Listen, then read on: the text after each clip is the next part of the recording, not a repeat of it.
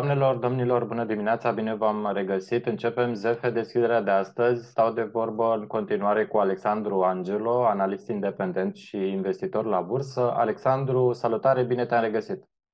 Salut, Tibi, și bună dimineața tuturor. Bine te-am regăsit și eu.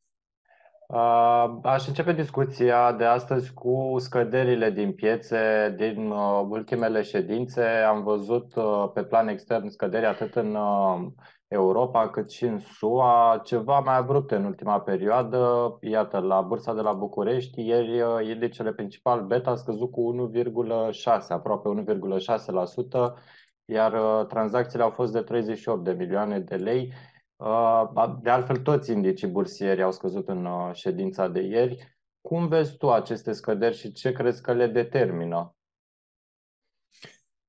În primul rând, uh, există mai mulți factori care pot afecta aceste scăderi, dar din punctul meu de vedere, cel mai important cred că se rezumă la factorul extern, de pe piețele externe. Știm cu toții că în urmă cu câteva zile am avut discursul de la Jackson Hole, în care uh, guvernatorul băncii centrale uh, americane a spus uh, foarte clar că cel mai important pentru, pentru el și pentru Banca Centrală este să reducă rata inflației, cu riscul de a provoca anumită, ca să-l citesc pe el, anumit, un anumit grad de durere pe, pe planul economic. Deci, în momentul de față, cel mai important pentru ei este să reducă inflația și nu să se concentreze pe creșterea economică. Piețele de capital au, uh, au suferit din acest uh, motiv, pentru că și-au dat seama că noi creșteri de dobândă uh, sunt după colț și pot afecta în mod uh, dramatic uh, acțiunile. Lucru care s-a propagat și pe piața bursieră de la noi. Cu ce ai rămas uh, în urma acestui eveniment Jackson Hall? Uh, practic, ce s-a discutat acolo? Care au fost principalele subiecte și cu ce au rămas și investitorii? Investitorii cred că au rămas uh, un pic surprinși uh, negativ. Am avut acel raliu uh, pe, pe piețe, început uh, undeva la 20 iunie, 22 iunie, cred că a fost uh, un, un minim pe indici americani am avut câteva săptămâni bune de creșteri susținute, dar au fost uh, reversate rapid după acest discurs. Deci cred că au rămas cu o concluzie negativă în ceea ce privește piața de acțiuni. Uh, totuși, uh, aș vrea să reamintesc faptul că uh, Rezerva Federală și, în speță, guvernatorul ei, uh, Jerome Powell, uh, are de lucru foarte mult cu această inflație, pentru că este la o valoare ridicată. Am avut o lună de scădere uh, de la maximele de 9%, suntem acum la 8 și un pic la sută, deci am avut o lună de scădere a inflației, dar uh, lupta e departe de a fi câștigată, din punctul meu de vedere. Iar lichiditatea vedem că încă se află la cote de avarie, ca să zic așa, sub jumătate din media zilnică, chiar dacă a mai crescut în ultima perioadă. Din ce motiv crezi că se întâmplă acest lucru? Bănuiesc că investitorii ar fi trebuit deja să revină din vacanțe. Într-adevăr, media uh, se află de o bună perioadă de timp sub, uh, sub ceea ce am văzut la începutul anului sau chiar în anii trecuți. Uh, deși am spune că avem rezultate foarte bune pe sectoare precum energie, uh, totuși rulajele nu, nu se află la nivelul așteptărilor. Investitorii cred că sunt într-o continuă așteptare cu privire la politica monetară. Cred că și-au găsit un, un mic răspuns în această perioadă, după această ședință, și mi-e teamă, Tibi, de un singur lucru, că această lichiditate să nu cumva să crească în momentul în care avem uh, o perioadă de, de panică sau de agitație pe piețele de acțiuni.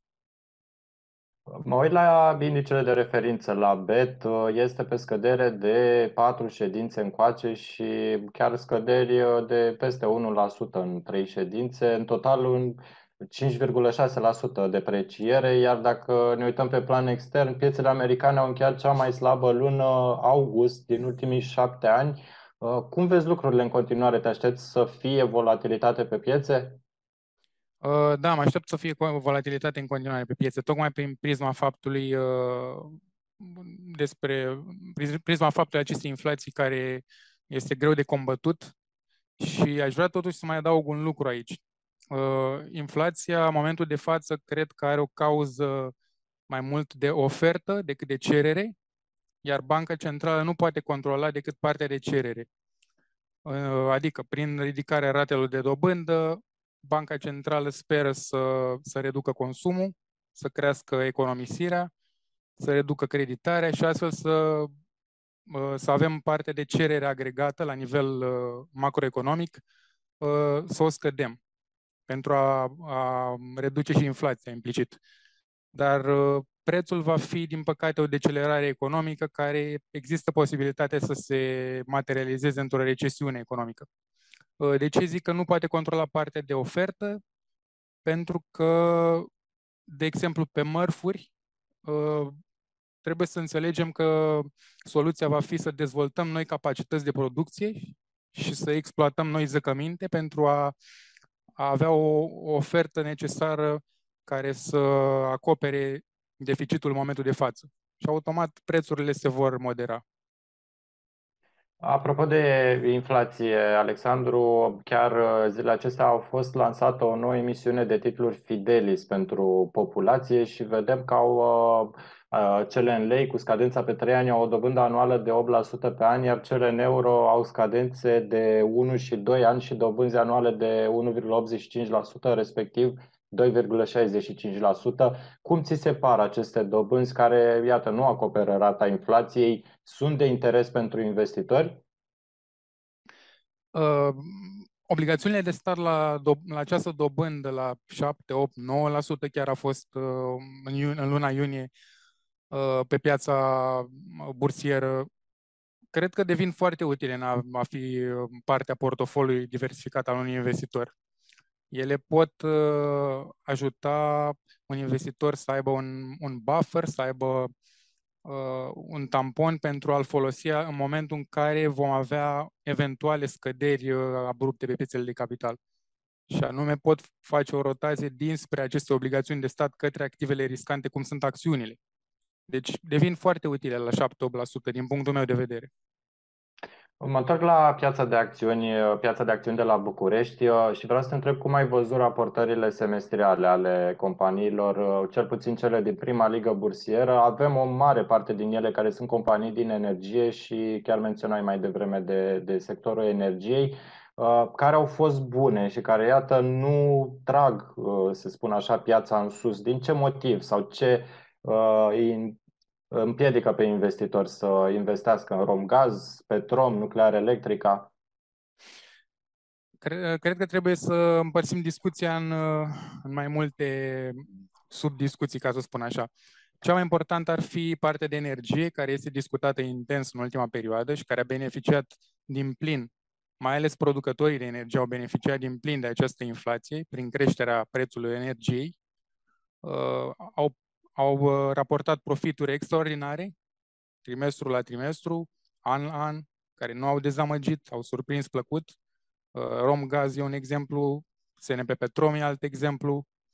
Uh, și cred că în condițiile în care mărfurile și energia va sta în continuare sus, ele vor avea de beneficiat din plin.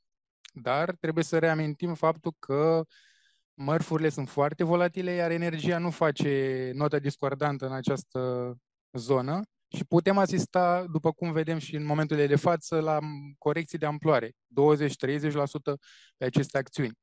Dar pe termen lung rămân, uh, rămân un cumpărător pentru acest sector.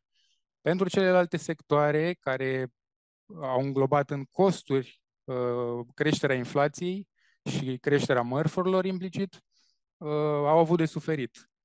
Din fericire, piața uh, din România, Bursa de Valori București, este o piață emergentă și are un sector foarte predominant uh, ca producător de energie sau care beneficiază din, din aceste motive de creștere de inflație.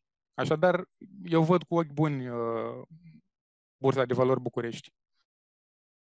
Și dacă vorbim de energie, avem uh, prețul petrolului care în ultimele, în ultima perioadă scade așa ușor, ușor. Ce implică asta pentru companiile din energie și care ar fi perspectivele în continuare, așteptările tale? Prețul petrolului a cunoscut uh, o corecție importantă în ultima perioadă, și anume un 30% față de zona de maxime. Mă uitam de curând. Dar uh, să știi, Tibi, că uite, de exemplu, produsele derivate din petrol, cum ar fi uh, benzina, a cunoscut o corecție și mai mare, de aproape 40%. Pe de altă parte, motorina a cunoscut o corecție uh, mai mică. Este greu de, de spus ce se întâmplă la nivel de rafinării, pentru că situația cu Rusia și războiul afectează în moduri diferite rafinarea, pentru că sunt unele rafinării care merg doar cu petrol din Ural, de la ruși. Sunt altele care merg și cu, cu alt tip de petrol.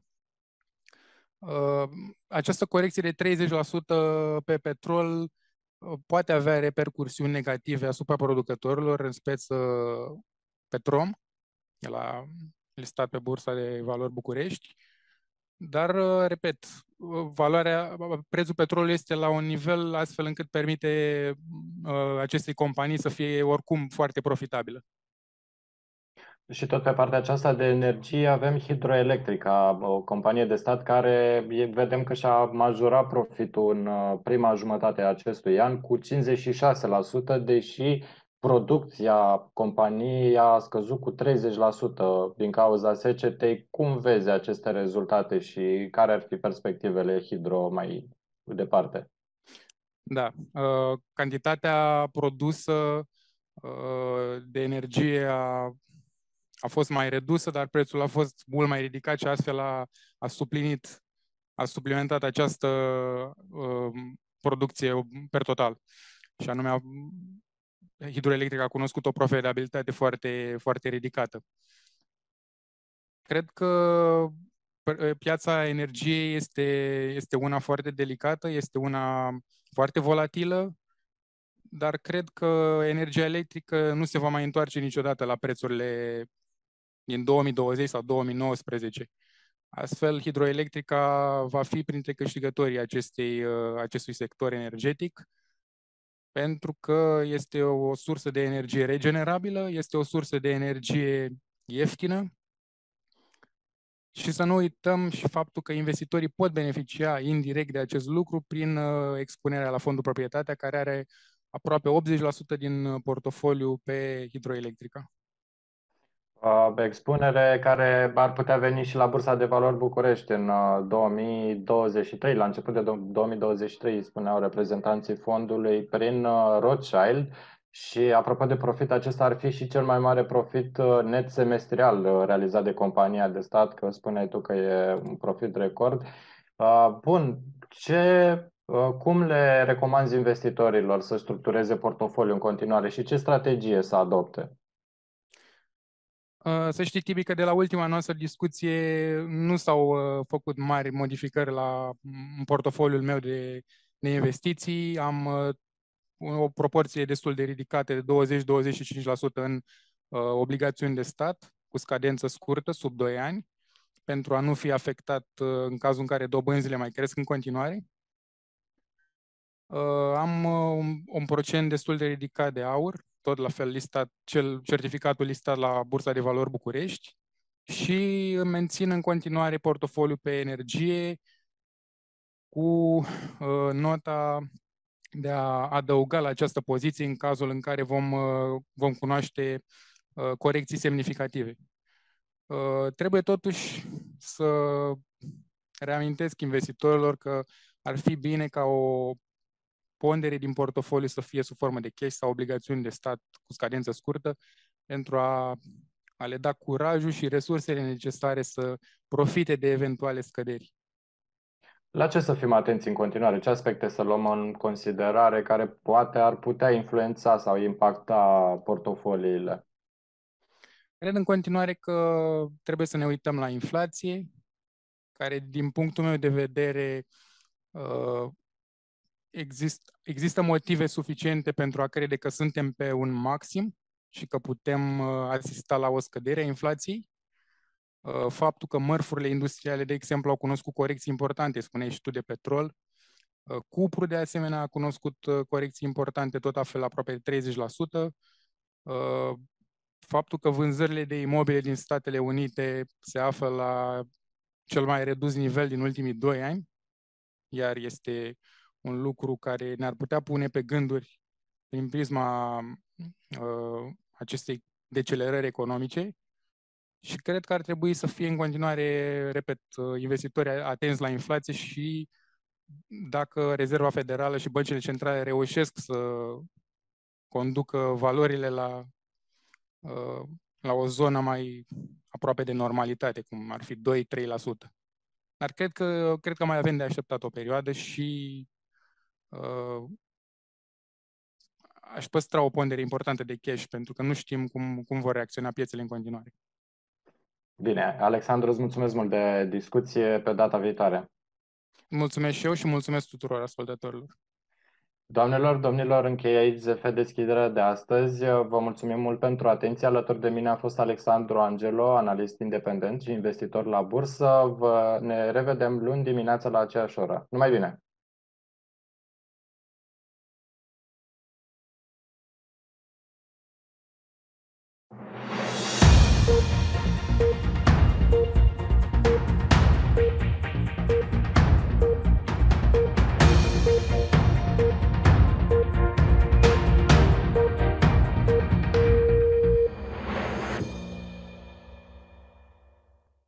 Știu ce spun. Alexander Dugin a fost ucis într-un atentat o femeie venită din Ucraina. Atacă, din păcate, foarte murdar. Știu ce te interesează. Când își fac un credit, românii sunt chemați să dea examen la bancă.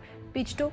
pică și creditul. O veste bună. Doamne, să se dea test acolo unde am nevoie. Știu cum să te fac curios. Chiar și la 20-30 de ani ovarele femeilor încep să îmbătrânească. Oamenii de știință vor să vadă dacă pot încetini procesul. Pe mine mă face să zâmbesc. Chiar ar fi un pas mare pentru omenire. Știu cum să te emoționezi. Șase luni au trecut de la declanșarea războiului. Ucrainenii au onorat memoria celor căzuți în luptele cu invadatorii. Asta ne dorim, să vedem o Ucraina învingătoare acolo. Știu să conving. Turcii sunt certați de americani că ei le dau mai multă marfă rușilor. Este celălalt stat care a ajutat extraordinar de mult Ucraina cu dronele. Turcia nu a ajutat cu drone, da? A vândut drone. Știu să câștig. Că ai câștigat. Ha!